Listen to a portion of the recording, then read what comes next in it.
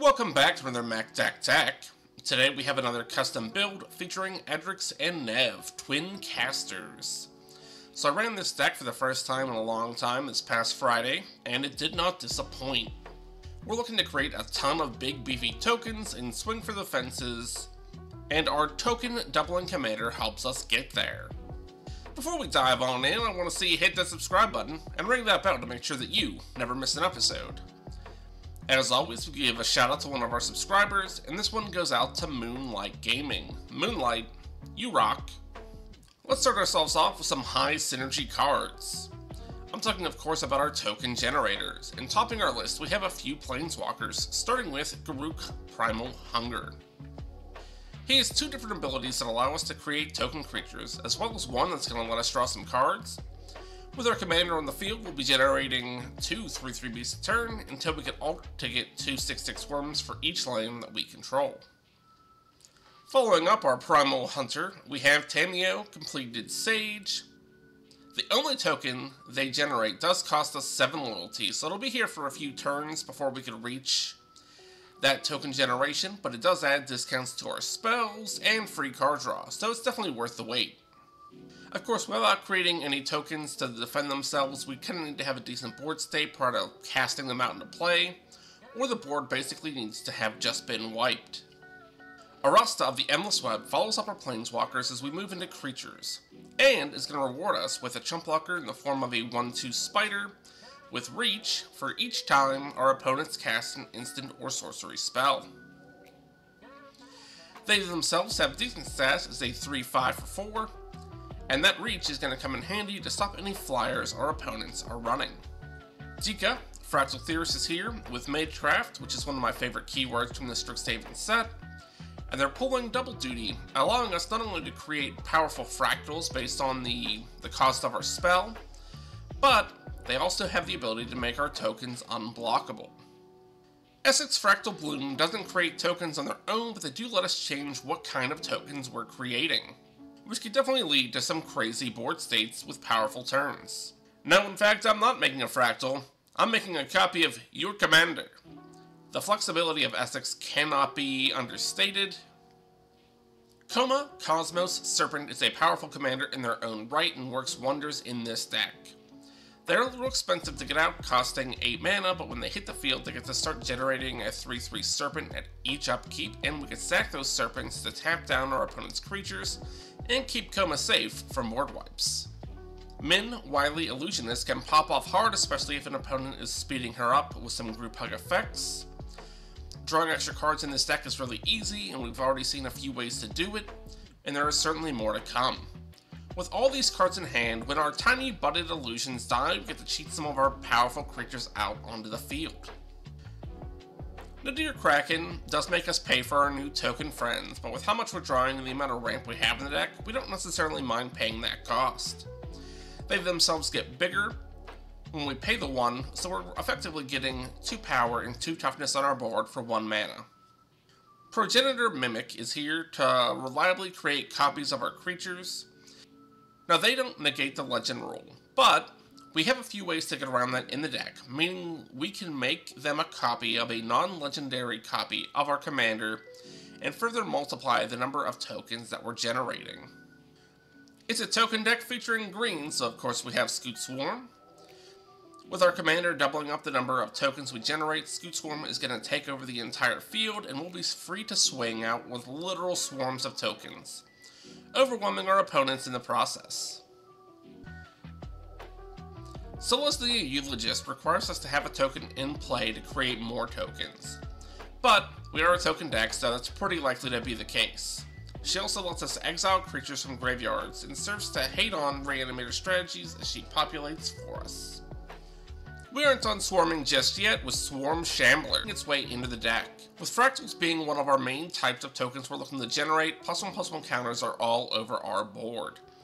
And this Fungal Beast is going to make it so whenever our opponents attempt to target our creatures, rock in those counters, that we get to create 1-1 insects, which again serve to chump block all day. Only one token generating creature is left in the form of Talrand, Sky Summoner. Getting some flying drakes for casting our instant sorceries is pure value, and with that evasion, we aren't holding them back to chump block, but rather swinging out to get in ship damage. Croaking Counterpart is up next in our Spell Slinging Clone category and creates us a 1-1 frog copy of any creature on the field, and we can flash it back later should the need arise. Red Replication is up and we're always looking to kick it. With our commander out, we're paying 9 mana and creating 10 copies of any creature at a minimum. This could take us from a barren board state to holy shit, look at that army in an instant. Spitting Image is a repeatable way to copy any creature on the board. Granted, the second use and beyond requires us to discard a land in addition to the normal cost, but given how many extra lands we're going to end up having in our hand just from like all the card draw, not a big deal. Double Major is one of those ways to get around the legend rule that plagues this deck. I've used it to make non-legendary copies of my commander, as well as some other key legendary creatures in the deck to great effect. Druid's Deliverance is another double-duty card. This one-sided fog allows us to populate while taking no damage. Theoretical Duplication is another way to build back quickly. In response to an opponent casting a powerful creature, we pay a mere 3 mana and get a copy of it and all other non-token creatures that enter the battlefield under their control this turn. Moving out of our spellslinging territory and into more repeatable effects, we have Blade of Selves, which gives our equipped creature Myriad, allowing them to create copies of themselves on attack, one for each opponent they weren't attacking. Combined Chrysalis is an interesting piece of token generation, forcing us to sack a token to make a token. Luckily for us, that makes it token positive with our commander. In addition to that, it grants all of our tokens flying, allowing them to avoid those pesky blockers our opponents have set up. Helm of Host is another way around that pesky legendary rule, and is going to create us a copy of a creature at the start of each of our combats. Lithoform Engine can make tokens a number of ways, including copying our commander's triggered ability, copying one of our instant or sorcery spells that generate tokens for us, or just copying a permanent spell. Mirror Box is up next, and while it doesn't generate tokens on its own, it does allow us to ignore the legendary rule and makes it so the original copy gets large and in charge. The next card is an interesting one. We're talking about Skyclave Relic, which we're looking to kick. These indestructible mana rocks basically pay for themselves with our commander out, netting us 5 mana rocks for the cost of 6. Granted, we can't use most of that mana right away, but you know, the ramp generated from it is second to none in this deck. Speaking of ramping with tokens, we have Awakening Zone, which is going to create us a 0-1 Eldrazi spawn at our upkeep, which we could sack to add mana to our pool. This is going to let us play ahead of curve and not waste all those extra cards that we've been drawing. Last up is Paradox Zone, which enters with a growth counter on it, and then doubles the number of growth counters at the end of our turn, and creates us a fractal based on the number of growth counters on it, meaning that each turn, those fractals are going to get bigger and bigger and bigger. We've mentioned card draw quite a bit already, so let's go over how we're getting those extra cards. Topping our list is a copy of Rhystic Study. We're taxing our opponents, and most of them don't seem too keen on paying those taxes. But that's alright, we'll take the card advantage instead. Idol of Oblivion is here, and right at home in any token-focused deck, allowing us to draw a card per turn and keeping our hand full. Return of the Wildspeaker is either drawing us a ton of cards or boosting our board state allowing us to hit hard, but more often than not, we're looking to draw those cards. A lot of them at that point, since our fractals tend to get pretty large pretty quick. Growth Spiral is up next, not only drawing us a card, but also allowing us to ramp a little bit in the process. Granted, we need to have a land in hand after we draw a card, but with how often we're drawing these extra cards, it's not, you know, it's not really an issue. We don't run into issues here. It's all good. Commander's Insight follows up our spiral and lets us draw X cards, plus one for each time we've cast our commander. It's a little expensive paying 4 mana to draw 2 cards, and could probably be swapped out for something a little stronger, but as it stands right now, it's in the deck. Brainstorm is a great card selection, especially if we have a way to shuffle our deck after the fact. We're breaking even in terms of card advantage since we spent a card to effectively gain two cards. But we get to pick and choose how we want to keep cards in our hand, allowing us to save some cards for later on. Blue Sun Zenith is basically repeatable Commander's Insight without the bonus for all the times we've cast our Commander. Of course, if an opponent's deck is also looking a little low, we can always spend the extra mana and just force them to overdraw to take them out. Golden Ratio is up next, allowing us to draw a card for each different power among creatures we control. With the wide range of ever-increasing powers on our board, we're sure to draw a ton of cards off of this. We only have one creature offering us some card draw, but they play a vital role in this deck, and that's Curiosity Crafter. They offer us no maximum hand size, and make it so whenever our tokens punch an opponent in the face, boom, we get cards. The last piece of the card draw engine is in the form of Teferi, Master of Time. Though I'm definitely considering moving him to my Super Friends deck, uh, but it'll take a few turns to get him up to his alt for those extra turns, but in the meantime, we're going to draw cards, discard cards, every single turn, not just our own. Some of these cards have shown themselves to be a little expensive, so we need to go to Ramp City, where the mana dorks are overflowing and the lands are oh so searchable. Topping that list is Gyre Engineer, who taps for 2 mana, a green and a blue. He's a little squishy and a little valuable, but with a much bigger threats on the board, he tends to stick around. Incubation Druid follows up our Engineer, and while they are initially only tapping for 1 mana, they'll eventually tap for 3. Marleaf Pixie is up next, and this 2-2 flyer taps for both of our Simic colors, making them nice and flexible. Old Growth Troll is kind of slow ramp and token generation all rolled into one. When they die, they come back as an enchantment on a forest, allowing us to tap for extra mana. We're also then given the option to pay one and tap and sack that forest to get back a 4-4 Tramply Boy. Quandrix Apprentice is here, with Magecraft, allowing us to look at the top three cards of our library, grab a land, add it to hand. Quandrix Cultivator follows him up, cheating out some basic lands for us. This makes the Cultivator a prime target to copy, since the 3-4 body base sport is decent enough, but the land ramp is icing on the cake. Attune with Aether is another nice way to thin out the deck, and while it's not true ramp, it can help us avoid missing land drops. Cultivate, by comparison, is ramp proper, grabbing us two lands, one for our hand and one for the field. Emergent Sequence is last of the non-mana rocks to go over, turning a land from our deck into a fractal with power and toughness equal to the number of lands we've seen ETB this turn.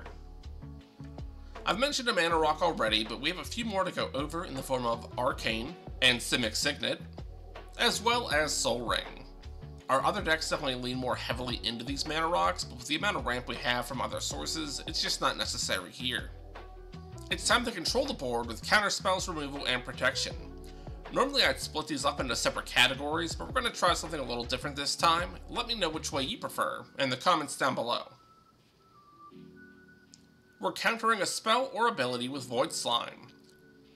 This 3 mana counterspell is nice and versatile, allowing us to stop the abilities of permanents our opponents manage to get onto the field, as well as any spells they attempt to cast. Tale's End is easier to cast but targets a few less things, we're still hitting those abilities but we're limited to only legendary spells. Quandrix Command can bounce creatures and planeswalkers, or counter artifact and enchantment spells. The extra counters on a creature and the ability to shuffle some cards from grave into library is cool, but a little less relevant here. Narset's Reversal lets us copy a spell and then put it back into the hand of the caster. This stifles their spell, forcing them to spend mana to cast it again. Memory Lapse is in a similar spot, but also puts them a turn behind, forcing them to redraw it. And if you have some mill, which we don't here, but someone else might, you can get rid of the card altogether. Krosan's Grip is a nice way to remove a pesky artifact or enchantment, and the fact that it has split second is icing on that cake, making it really hard to counter. Heroic Intervention protects your board from most board wipes and prevents your creatures from being the target of any other spells or abilities this turn. This allows us here to be a better Voidslime. Same effect, easier casting cost since it doesn't require any green mana. Decisive Denial can force a fight you know you'll win, or counter a non-creature spell if an opponent can't or doesn't want to pay 3 extra for it. Baral's expertise is up next and lets us bounce three things to hand, then cast a spell for free as long as it costs four or less. We have one last card to go over, and it's the Golden Nightmare of the deck. Tanazir Quandrix. This powerful dragon is going to double up the plus one plus one counters on a creature when he ETBs. Then when he attacks, I can raise the base power and toughness of all my other creatures to match his. With a lot of my tokens being less than 4-4 base power and toughness, many of them actually being 0-0 base power, uh, this is a huge boost. Before we wrap things up, we do have some honorable mentions that would be great in the deck, but I just don't have extra copies. Those being Doubling Season and Parallel Lives. But guys, uh, with those out of the way, that's the deck. I hope, uh, I hope you like it, and that you're looking forward to seeing the Doctor Who deck tags, which should be starting up next Sunday at noon Eastern Time. Were there cards that I missed when making the deck? Cards that you questioned being in here? A commander that you'd like to see a build around? Let me know in the comments section down below, and if you want help with your own decks, or just to sling spells on Spell Table, consider joining the Discord. But until next time, good luck with your builds.